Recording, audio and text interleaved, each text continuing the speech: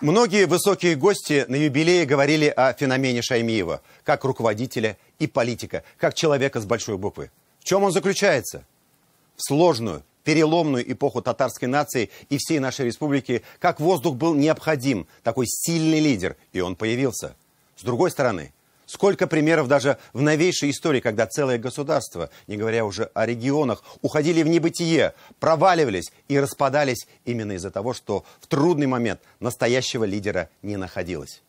Митимир Шаймиев, все мы знаем, как с татарского переводится его имя, был и остается руководителем со стальным характером, умеющим отстаивать интересы республики и в то же время достаточно гибким и опытным переговорщиком, что особенно пригодилось в сложных 90-х годах, когда, по сути, формировалась экономическая и политическая база Татарстана, а вместе с ней закладывались основы федерализма в России. Как сейчас этой гибкости и мудрости не хватает некоторым федеральным политикам и чиновникам.